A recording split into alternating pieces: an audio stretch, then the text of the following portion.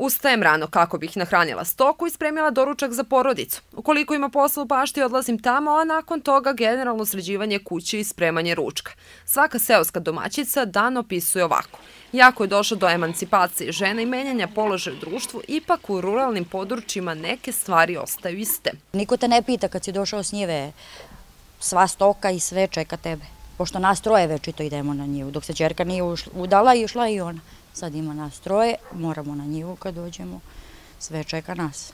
Sa druge strane, žene u seoskim sredinama uspele su da podignu položaj na viši nivo. Pokazatelj su udruženja koja postoje. One predstavljaju kretinu, sposobnost, organizovanost, praveći razne predmete ručnim tehnikama. Učestvuju na raznim manifestacijama, sajmovima, takmičenjima. Pa uvek nam je cilj da osvojimo nešto. Prvo mesto, pehar neki, medalju, zahvalnicu.